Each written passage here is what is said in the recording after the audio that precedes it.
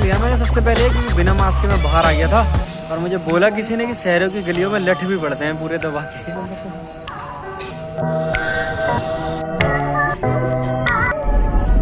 शाम के छः बजे मैं बाहर निकला। मुझे लगा कि दो घंटे, तीन घंटे जब तक उजाला होगा, तब तक मैं घूम के अच्छे से थोड़ा ब्लॉग बना लूँगा। लेकिन वो दो घंटे मेरे बस इस ट्रैफ़िक में गए तब सबसे बढ़िया एक चीज़ मुझे बस ये लगी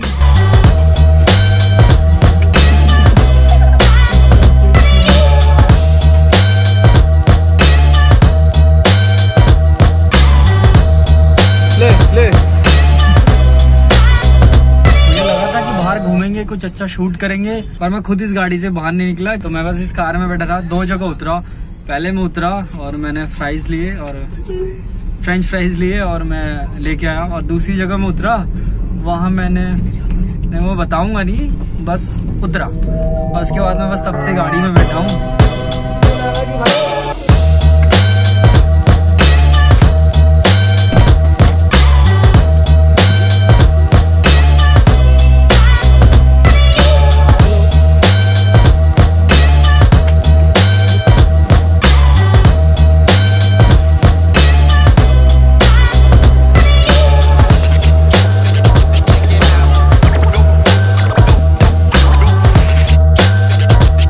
तो आज के ब्लॉग में जितनी बातें ट्रैफ़िक को लेके हुई है, उससे साफ़ पता चलता है कि कार में तो व्लॉगिंग हो नहीं सकती।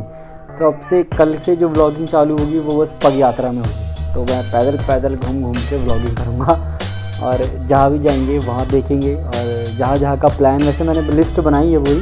तो जहाँ जहाँ जाऊँगा, वहाँ वहाँ। इतने दिन में यहाँ हूँ, मैं चाहता हूँ मेरे पास अच्छे अच्छे व्लॉग्स आ जाएँ। और बाकी जहाँ पे मैं बैठा हूँ, आपको अब कुछ दिनों तक यही बैकग्राउंड दिखने वाला है, क्योंकि जितने ब्लॉग में बाहर जाके शूट करूँगा लास्ट में यहीं आके आपसे डिसाइड करूँगा, इसके बाद नेक्स्ट क्या होगा। तो इस बैकग्राउंड की आप आदत डाल लेना। और वैसे ये कोना मुझे इसलिए पसंद है क्योंकि यहाँ जहाँ मैं बैठा हूँ ना, इस कोने पे बाहर का व्यूज़ भी बहुत अच्छा आता है तो मैं दिखाता हूँ आपको एक